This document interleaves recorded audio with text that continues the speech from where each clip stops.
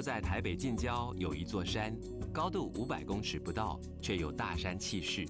登顶后，不但游目骋怀，尽览台北盆地风光，还有一颗奇怪的三角点可以摸。在它的山脚下，一泓碧水静卧，景色如梦似幻。这湖不但美，还拥有强烈的母性和丰富的内涵。有许多台湾低海拔地区已经很不容易见到的水生植物、本土鱼类，在这个小天地里相依相偎，保留族群的最后元气。这些不起眼的小鱼，看起来像杂草的水生植物，以及各式各样的昆虫，共同组成台湾已经越来越少见的低海拔淡水沼泽生态。这里是新北市细致的新山梦湖，我们在这里徜徉漫步，观察动植物生态。意外的是，梦湖竟是私人产业。我们在这里和梦湖少主人相遇，湖畔一杯咖啡，几张松饼，梦湖的前世今生、未来命运尽付谈笑中。原来，美丽的小湖曾经饱受摧残，主人干脆免费开放，积极管理，与保育团体合作，让更多人认识梦湖丰富的内涵，让梦湖不需要观光化，就拥有永续发展的能量。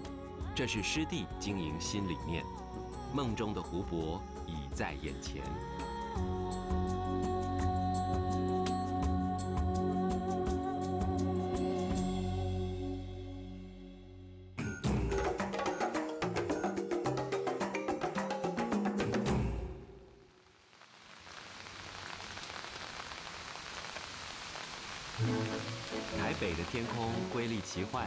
这不是什么末世异象。而是台风就快来了，浣熊台风名字可爱，没有一点杀气。我们要去的又是台北近郊的踏青景点，外景队完全不受影响，按照原定计划出发。没想到可爱的浣熊偶尔也会发威，天气时晴时雨。如果是登山越岭，这种天气硬上那就显得冒失。但是这里是老朋友熟悉的郊区小山，我们只能算是冒雨访友吧。老师早啊，早！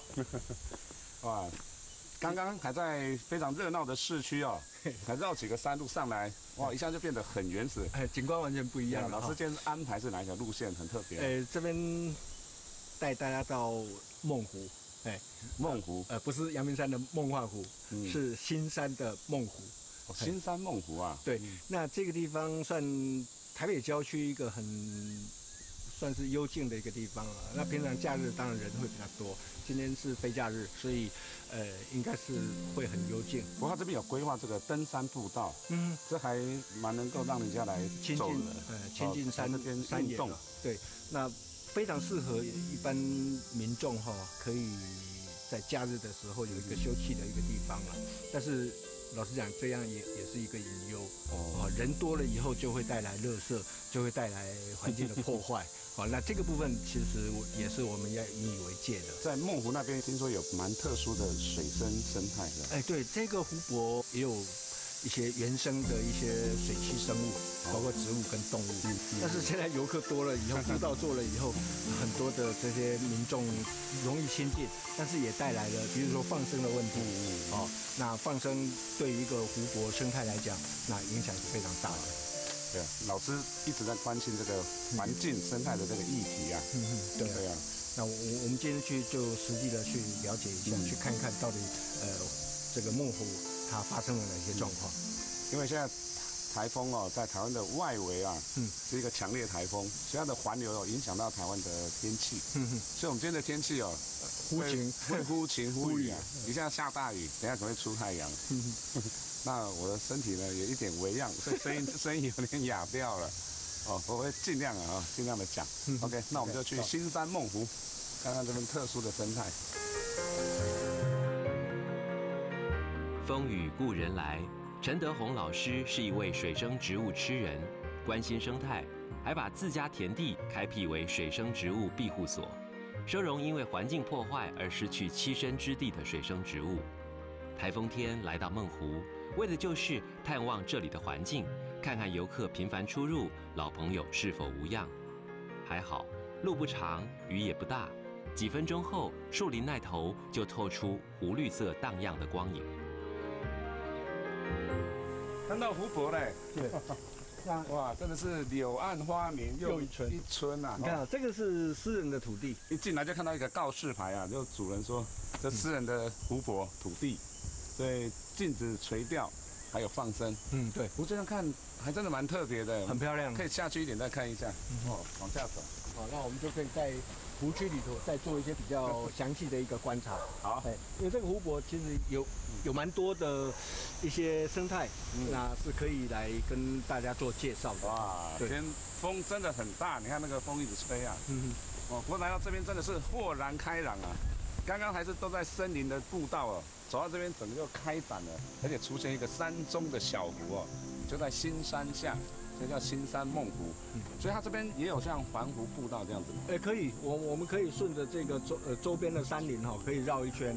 那这边水域里面的生态，其实除了鱼，还有这些蜻蜓，还有这边的植物哈，都是在台湾北部呃算是很值得保护的一块区块。哦，拭目以待。对，那我们远远可以看到主人的房舍就在湖畔，哇，还蛮不错的哦，在这很幽静。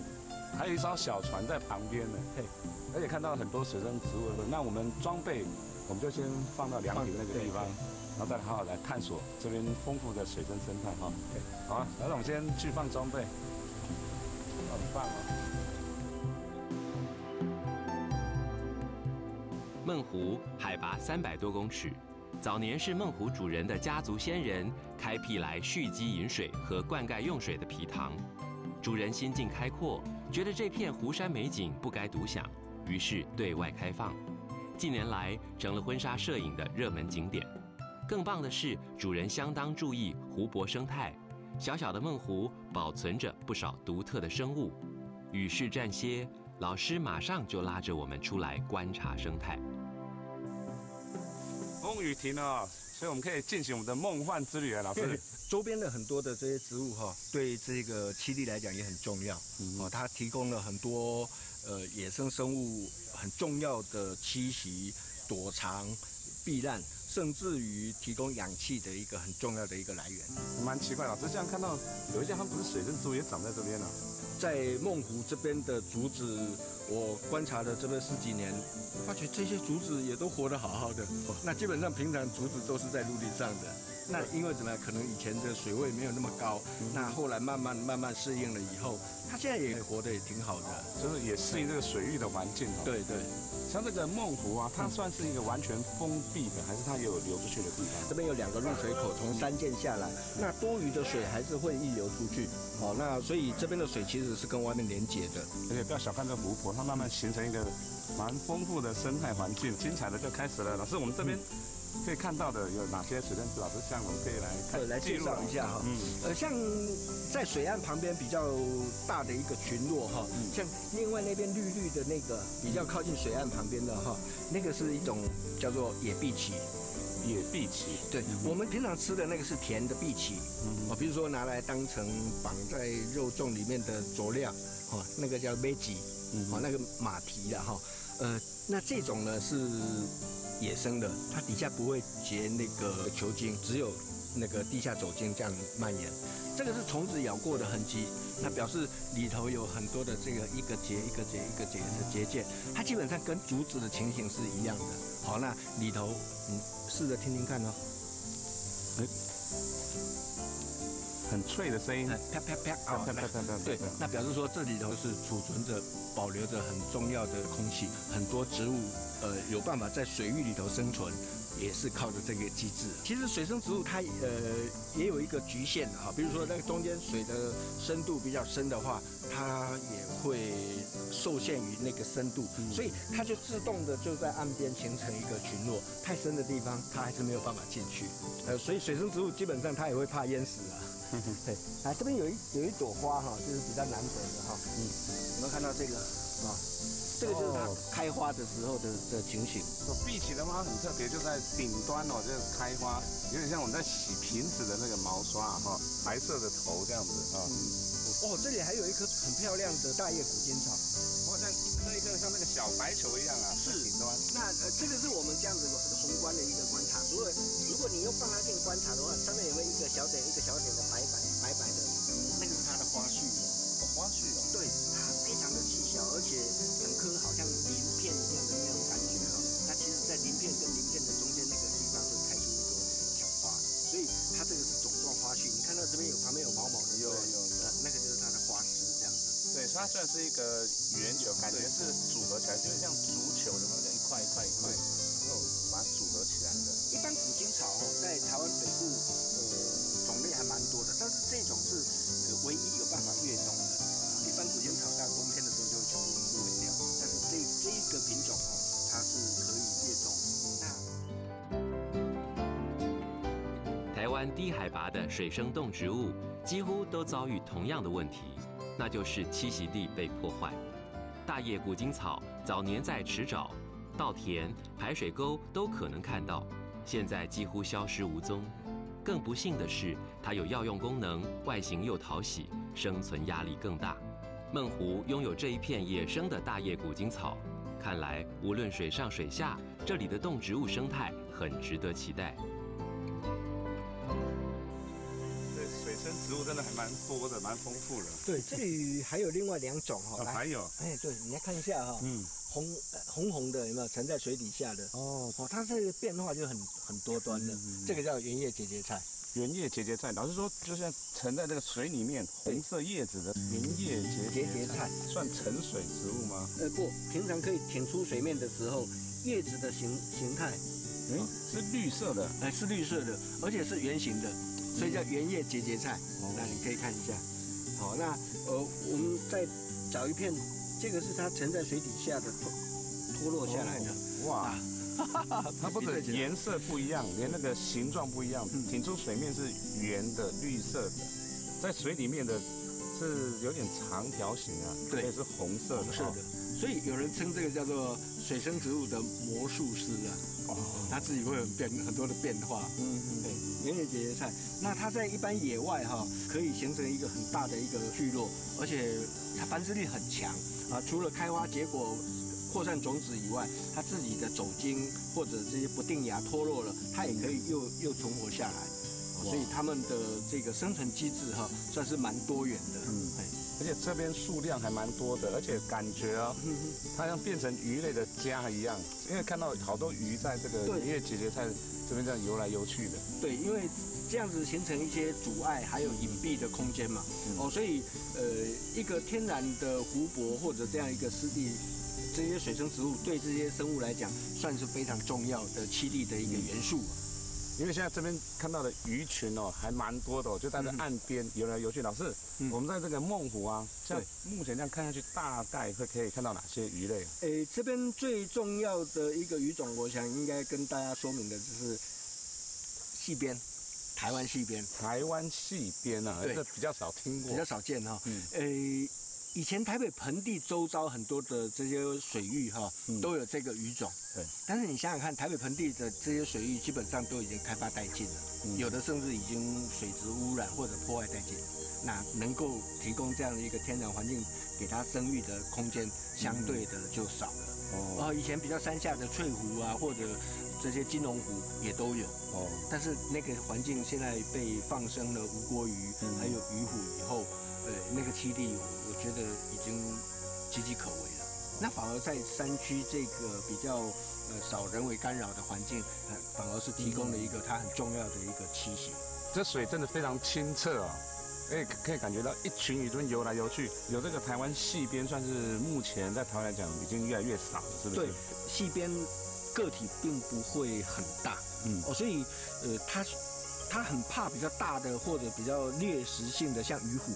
那呃，吴国鱼也是啊，会抢食哦，所以呃，能够容许它生存的这样一个环境哈，基本上要有比较复杂的环境，嗯，比如说像像这边有很多的水草，当有强势的物种进来的时候，它有地方可以躲藏，嗯，那像这么多的呃水生植物，它其实就是提供一个很重要的一个避难的一个空间，哦，所以可以看到这边非常壮观的一个族群，嗯，是非常难得的哦。老师，你说孟湖这边还有鱼虎啊？有，因为民民众来放生的。这个听到这虎就很恐怖。对，像一般是在曾文水库啊那边，听说很多那个鱼虎。嗯，那这个小湖泊也有人来放鱼虎啊？呃，对啊，所以这个部分就是我们台湾民众需要很强力的来做一些宣导。我们很多人以为说放生其实对于整个生态来讲就是一个非常大的一个伤害，他没有想到这个这些鱼虎进来了以后，对原生。在这里的这些生物，呃，会造成很大的伤害。那呃，什么都吃，啊，会动的，只要让它抢到的话，嗯，水栖生物、昆虫、鱼都会罹难。嗯，对啊，那这样就蛮可惜的，因为很难得哦，就在这个梦湖这边哦，我们可以看到台湾西边的鱼群哦，在这边游来游去，而且数量非常的多。尤其因为这边有很多水草、水生植物，嗯它是悠游。在里面感觉像水中的森林，水底的森林，那看到很多鱼啊，这边有，就形成一个非常美丽的景致啊。在这边还有盖斑斗鱼，也同样的要有这个水生植物的这样的一个条件，它才有办法存活。因为它呃在小鱼的时候，它还是会遭受到很多的攻击，所以周边的环境越复杂，那对这些小鱼来讲，它存活的机会就越大。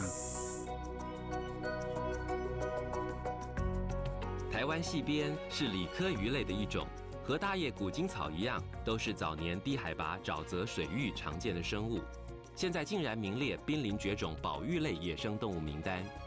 还好有梦湖让它和大叶古金草相依为命。这只有黑道大哥气势的鱼就是鱼虎，而体型更大的这尾则是不知名的外来鱼种。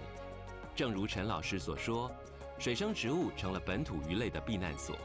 鱼虎没办法鱼肉乡里，台湾戏边应该还能在梦湖里过悠游的日子。说着说着，盖班斗鱼也来凑热闹。看来梦湖确实是本土小鱼的梦幻家园。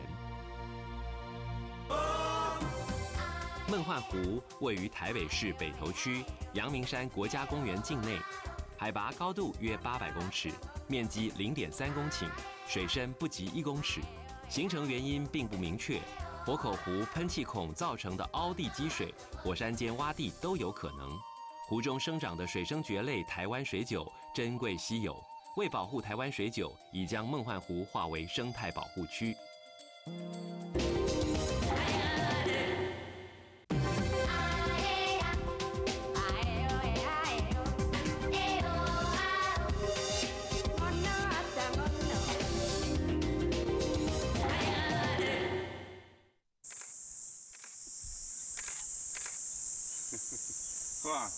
你大丰收哦！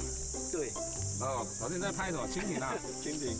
哦，刚好有时候光线哦，而且而且这边的植物整个背景哈很单纯，然后拍起来就会那个画面就会好看。对啊，你看刚刚又下了一阵大雨，它现在你看又阳光又整个出来了。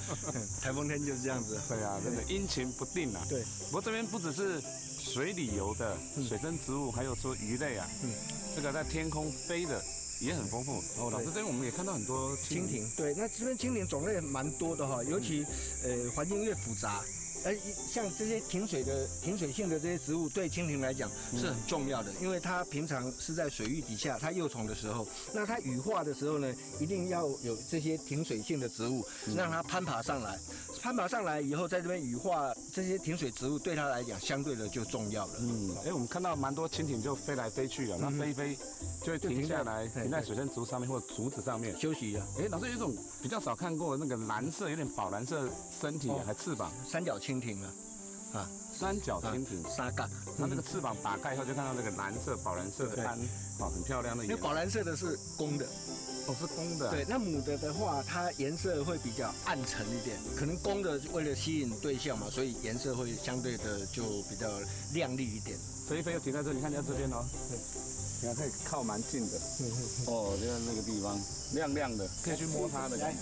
这里生态真的是很丰富。我们这边看到一只哈，刚上岸来要羽化，那个翅膀还没有晒得很干的情形。刚从水里面爬出来，感觉身体还非常柔软，嗯，那个很嫩呢。翅膀哈，翅膀都还没有完全撑开来。哦，对，那现在它就是整个阳光哦，把它曝晒了以后，它整个体液哈，会把整个那个翅膀哈给给撑开来。哦，它刚爬出水面呐，对，所以需要把这个翅膀啊整个晾干，嗯，然后它就可以再飞翔飞走这样子。三角蜻蜓的后翅宽大，很像一片三角翼，可能和它的飞行特性有关。一般说来，蜻蜓飞行时速高达五六十公里，两对翅膀可以用不同的频率和角度震动，做出各种高难度飞行动作。人类的飞行器从蜻蜓身上找到不少灵感，在梦湖畔关停做梦，说不定下一位莱特兄弟会在这里诞生。比较浅的地方比较容易，呃，让这些水生植物哈，呃，有一个生育的这种深度。那太深的那个范围，嗯，呃，水生植物基本上除了漂浮性的或者浮叶性的以外，在那种水深是不太容易存活的。那我们现在移过来以后，这个水生植物有没有一些变化？有，呃，刚才看到的大部分都是像圆叶节节菜或者碧琪。那这边除了碧琪以外，还多了一个叫做真令。真令啊。基本上就是像针一样细细的嘛，哈，那是莎草科的。那这种令草，呃，比较纤细，哈，比较纤细一点。有诶，就对，在这个水面上感觉它是是沉在水里面，但是有浮岛的，浮舞在水面上的哈。基本上我们在野外看到真令的时候，基本上都是停水的，哦，都停在水面。但是这个环境比较特殊，可能它水位拉的比较高，那。原来已经固定着床在底下的这样的一些植物呢，又碰到水拉高了，所以它不得不发展另外一个策略。好像我们这样在水水域里头随便一捡就可以看得到哈，这个是它的新长出来的不定芽。哦，那这个白色这样一条，这个是它的根吗？根，它的根，它的根这样子。哦，那呃，这个算是它无性繁殖的另外一个策略。哦，我给你看一下。对，哦。我这样看就很清楚哦，很厉害，白色的一条，这是它的根。嗯，那老师说不定芽是指绿色上面的绿色的那个绿色这个，那它绿色这个就能再发展出一株一整丛一整丛这个真令就对。那它整丛长出来以后，就像这样子，啊，它这个这这个整丛了以后，呃，哦，已经形成一个群落了。像它的根，这样一把一把这个根哦，然后这个植株就这样整个长上来了。哦，这样就很清楚了。嗯，哎，那这个也是吗？也是一样，跟刚才的那个，呃，先从一一点点的不定芽，然后发展成一个一丛整丛的这样一个情形。哦，这样就对比就很清楚。开始是发展出不定芽，长出根以后，然后大概就长出这样一丛。因为它水的深度。呃，可能超过五六十公分了哈，所以它可以借由这样子的一个高度，它第一代可能只有到达水的一部分而已。对，那它的第二代这些不定芽呢，它就就可以挺出水面来，那可以借由这样子的一个机会找到更多的氧气，哦，所以它们的生存机制就这样子发展出来的。哦，所以水生植物对于水、对于空气的这种需求哈，他们会有很多的这种应变跟措施。嗯。绕行梦湖一圈，慢慢走也只要十几分钟。绕行一圈可以看清梦湖完整面貌。值得注意的是，进水口一带因为溪水夹带泥沙，造成淤积，有逐渐陆化的倾向。这个区域因为水浅，密密麻麻地生长着鼻鳍。远看鼻鳍好像稻子一样长出稻穗，近看才发现那是鼻鳍尖端的嫩叶被虫啃食造成的，很可能是蝗虫的杰作。看着水生植物的势力范围越来越大，我们了解这座人工皮塘依然躲不过湖泊掩替的宿命。不过，真的要完全陆化，应该是好多个世代之后了。梦湖的未来我们看不到，但是梦湖的过去，有一位家族世代居住在这里的梦湖少主人倒是相当清楚。我们特别找他一起喝咖啡聊是非。盖斑斗鱼又名三斑斗鱼、台湾斗鱼，主要栖息于池塘、沼泽地带、稻田等水流和缓的地区，群居于水草覆盖区，以浮游动物、水生昆虫、蚊虫为食，可以抑制蚊虫。由于它具有独特的呼吸辅助器官，可以直接呼吸水面空气，是一种环境适应力极强的小型淡水鱼。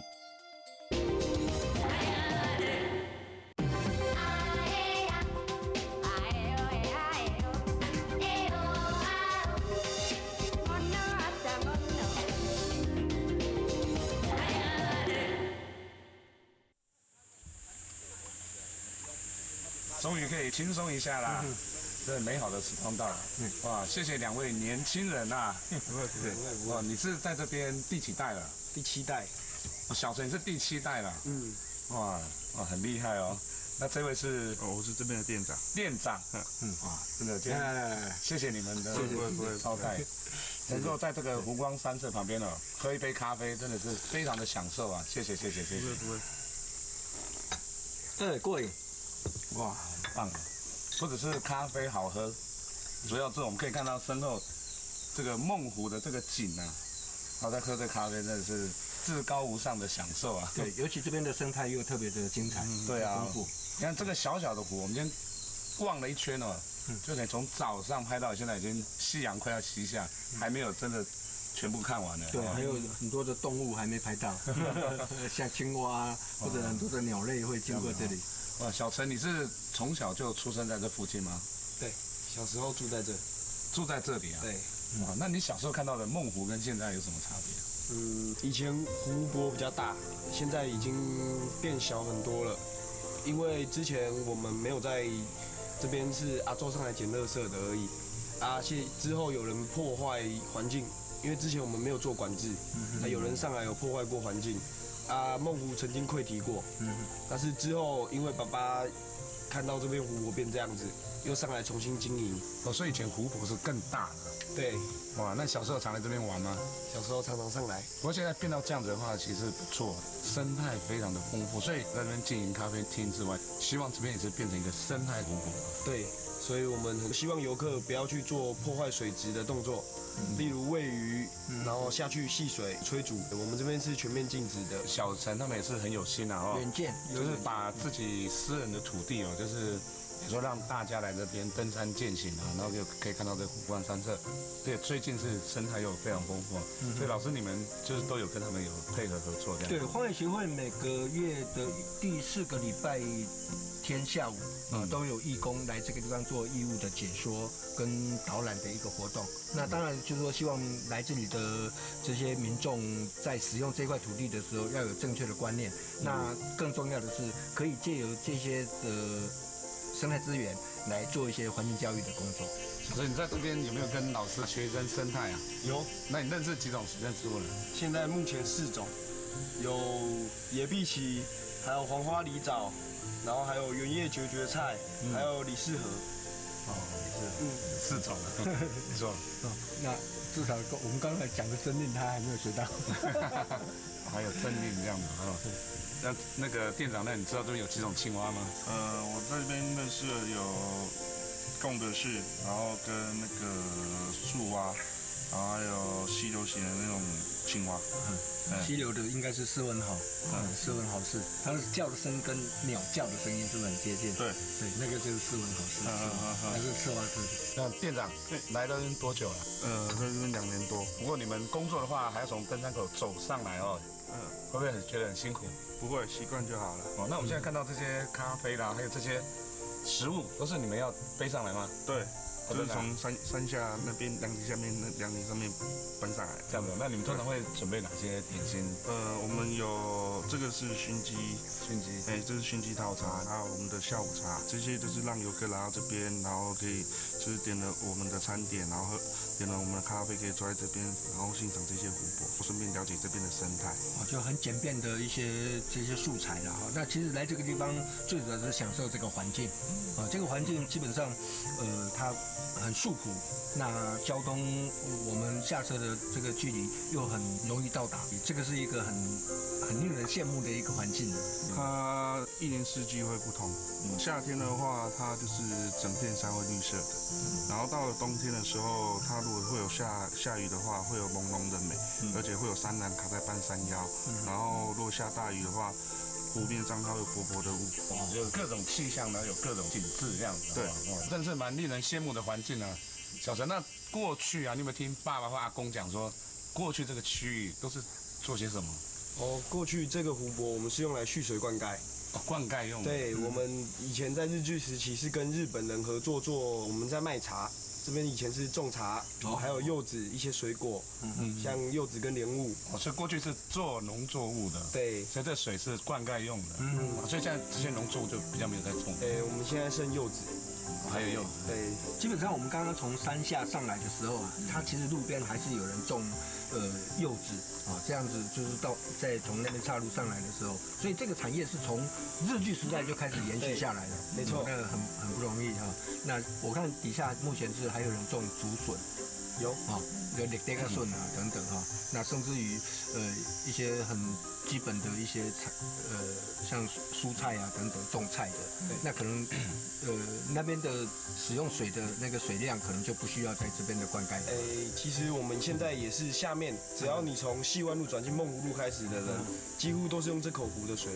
啊，我们每年有做两次水质检测，这个梦湖的水都是可以生饮的。哦，可以有生饮。梦湖水可以生饮。想来是山上的水土保持不错，湖里又有水生植物改善水质的关系。当然，这些都和梦湖主人维护管理有关。小陈告诉我们，早年梦湖就是一个隐身在山林里的水塘。攀登新山的登山客发现这个美景，传不出去，游客不知是私人所有，来到这里钓鱼、烤肉。宗教团体进来焚烧纸钱，环境脏乱，水质日渐恶化。小陈的父亲看不下去，开始贴布告，禁止破坏环境的活动，还嘱咐小陈上山管制。最后决定不收费，开咖啡馆，拿盈余改善设施，清理环境。最近荒野保护协会协助，更加入生态观察、环境保育概念。梦湖于是不必风景区化，而是朝向自然永续的生态湖塘发展。来到新山梦湖，游过梦湖，当然得攀登新山。斯文豪氏赤蛙又叫尖鼻赤蛙、棕背蛙，栖息在全省两千公尺以下山区溪流附近，体长约六到十公分，背部颜色多变，有绿色、褐色或绿色褐色交杂，身体修长，指端膨大呈吸盘状，以适应溪流生活，叫声有如鸟鸣，赏鸟人常称它骗人鸟。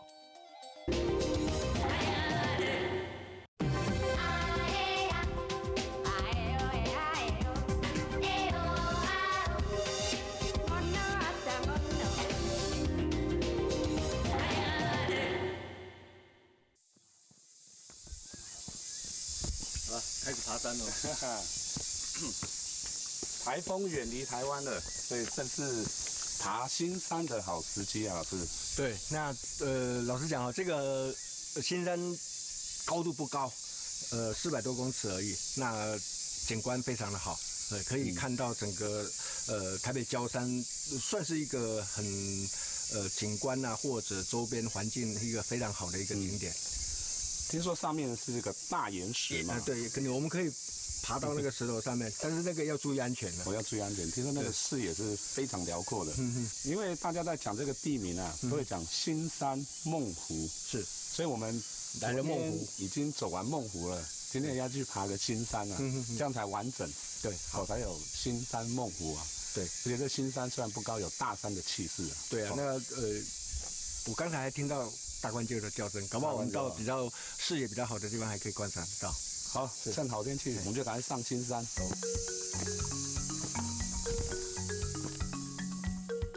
从梦湖到新山是一条环状路线，可以左去右回，也可以右去左回。慢慢走，绕一大圈约一个半小时。我们当然比慢慢走还要再慢一些。这一带应该是开垦过后自然富裕的次生林，浓密的树荫下，蕨类植物也相当繁茂。看来人类的开垦活动已经离开很久了。是我们从梦湖上来啊，看到森林底层哇，都是蕨类的叶子都很大一片。哦，对，这边的地被算完整。呃，从比较高的到比较呃中间层的到地被层哈，那因为底层光线比较不足，所以能够存活的这些植物基本上都比较耐阴的。像一些蕨类啦哈。那当然还有一些藤蔓也开始慢慢起来了，这个环境是有逐渐的在恢复当中。我们看到底层的蕨类感觉是同一种，这些都是沙罗哈，可是这个数量很非常庞大，非常多。我们看整个森林底层的一片，全部都是沙罗。它能够存在的象征意义就是说湿度够。阴暗，其他植物基本上都被排挤掉了，那只有它能够在这样的一个特殊的环境里头存活。啊，所以说长大以后就会像侏罗纪公园一样。哎，对，感觉会有恐龙跑出来。比如说笔筒树，它是更高大型的，还有跟它呃同样高度的，还有像观音座莲啊。那但是这些植物基本上都在比较底层的环境是比较耐阴的。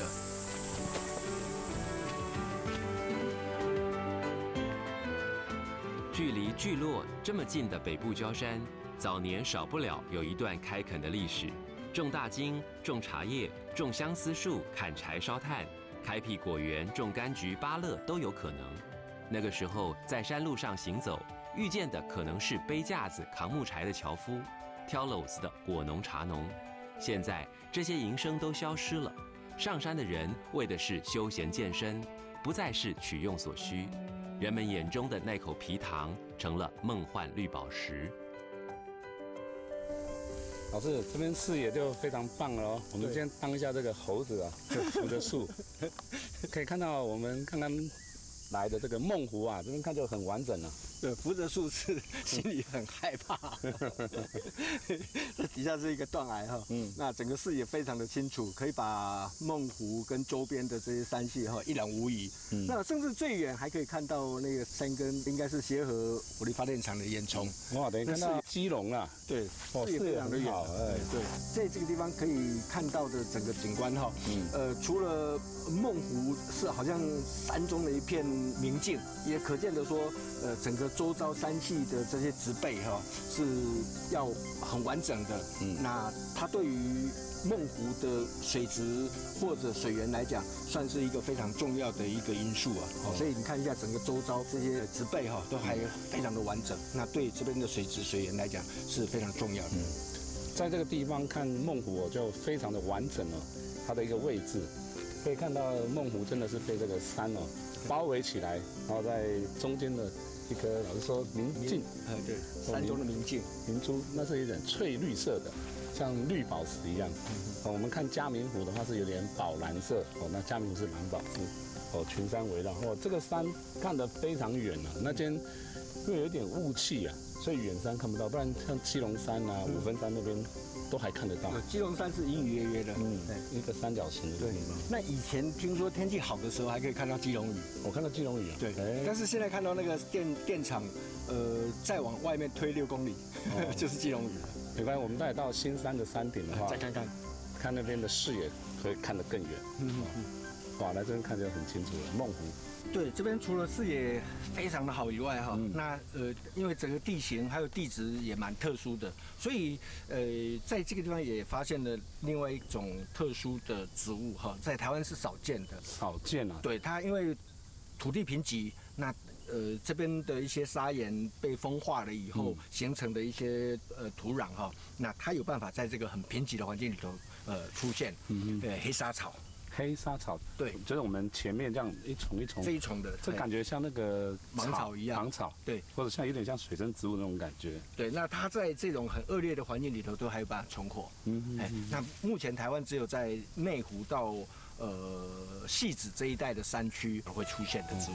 对啊，我们从梦湖上来哦，它这个步道蛮多，都是在砂岩上面挖出来的，用人工去雕凿的。对，一阶一阶的，纯手工的。哦，所以这个黑沙草，也就是在这种岩石、砂岩这种环境存活。对，基本上贫瘠。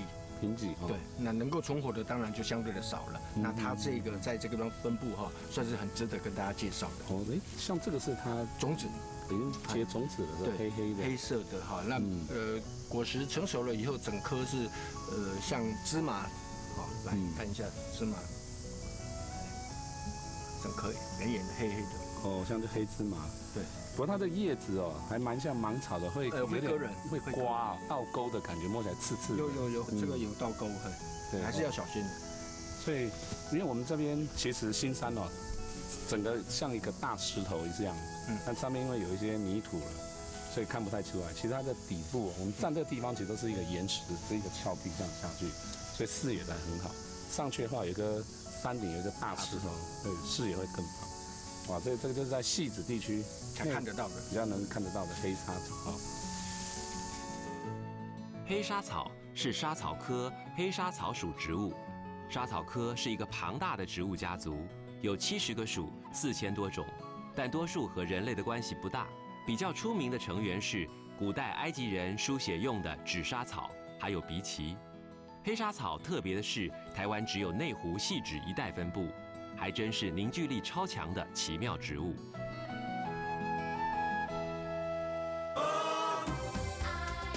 嘉明湖位于台湾台东县海端乡，坐落于三叉山东侧，距向阳山直线距离七公里处，海拔三千三百一十公尺，湖面呈椭圆形，长约一百二十公尺，宽八十公尺，面积一点九公顷，因为冰河作用造成的高山湖泊。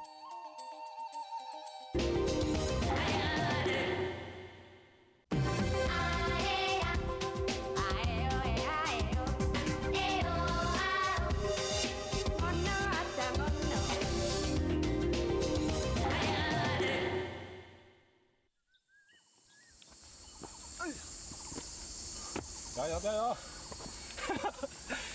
哦，过来了，看到一大片这岩石了，应该是接近山顶了，视野越来越棒了哦。哇，转转转转转，能见。哦，哇，这一大片这个斜面的这岩石啊，这一面比较斜，那边是垂直的。对，断。好，上来看一下。哦，哇，上面风大，上来比较凉快啊。对对对。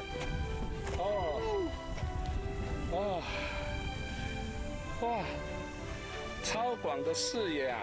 刚在这边还没发现，一上来三百六十度的视野啊，而且风大。对，而且有风哦，就凉快，因为刚从森林里面很郁闭啊。哦，很闷热啊。装备装备。哇，上来整个就凉爽了。这边很明显可以看到，这边山顶哦都是岩石的人脉，对，然后一面是比较缓斜面，然后一面就垂直的，有点像单面山那种对，这边应该以前是一个断层，断层，这个是一个断层，像嗯，哦，老师这边视野更好了，比刚刚更好哦。对，那他看的那个面面向更宽广嗯，呃，这边戏子，戏子啊，呃，这边国际示范公墓，哦，五指山，哦，五指山这个地方，对。哇，也就是台北盆地是在这个位置吗？对啊，因为这边除了刚刚看到基隆那个方向哦，再往南延伸，像看到基隆山啊、五分山过来，就戏子这边，然后再来，看到台北市啊，看到一零一大楼，还有飞机在起降，在降落，整个台北盆地看得很清楚。那戏子这个地方，我们是从戏子上来的，但这边往后看那边就是五指山，内湖五指山那个地方嘛，对。真看得好清楚哦！哇，终于到山顶了。这看完梦湖哦，再爬一趟新山，会有不同的收获。不过这样子就非常的圆满了哦。就看到宁静的湖泊，然后上来看到这个辽阔的视野，啊，这一切都非常的很值得，很值得。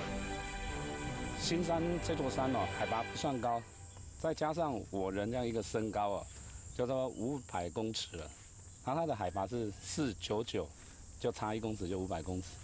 不过它最大的一个特色就是视野非常的辽阔。它虽然不高，可是它感觉是独立在这个群山之中哦，所以它这边就非常的空旷。所以我们往前方看到内湖五指山的方向啊，再往北方东北方看基隆，然后一路看过来新北市像戏子、瑞芳、戏子这样一一路往南哦，看到整个台北盆地视野是一目了然哦。这座山还有一个特色就是，我们看到山顶哦这样绵延过来。整条非常长的都是石头的人脉啊，所以质地是很坚固的。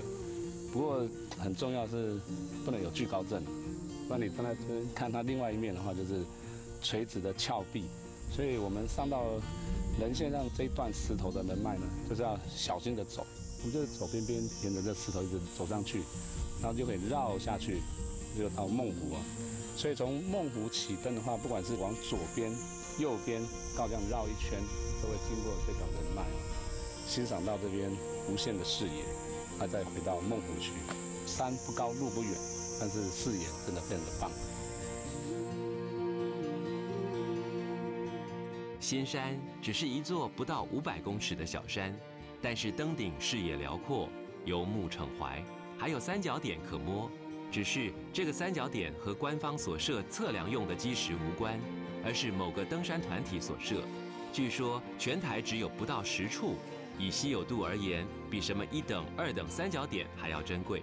不过真正珍贵的还是它就在台北近郊，和梦湖相依相偎，确保了湖水洁净丰沛，还凑成一对山水交融、生态丰富的景点。新山梦湖，一个美的如梦似幻。却又近得举步可及的美丽新境界。